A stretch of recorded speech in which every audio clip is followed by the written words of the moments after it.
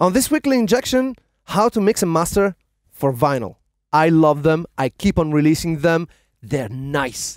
They also smell fantastic. There are no major differences in mixing and mastering for vinyl. However, vinyl doesn't like stereo bass. Because of the physics of how vinyl is cut, you cannot have stereo bass. That's why the mastering engineer usually collapses the low end into mono for vinyl cutting. So that's something that might influence your mixing as well. If you're putting a bass all the way to the left, then you will have to remember that probably the low end of that bass will end up in the center anyway. Something to think about. And that applies also to stereo basses. You cannot have stereo basses on vinyl. The low end will be collapsed in the center, so you might just not want to choose a stereo bass to begin with. Then there is the loudness issue. Not that you should be very, very loud anyway in general with mastering, but especially vinyl likes to have a little bit of dynamic range. So if you make your master extremely loud, uh, vinyl is not gonna like it so much. Then there are limitations in terms how long a track can be. Depending on if you're cutting a 7 inch or a 12 inch,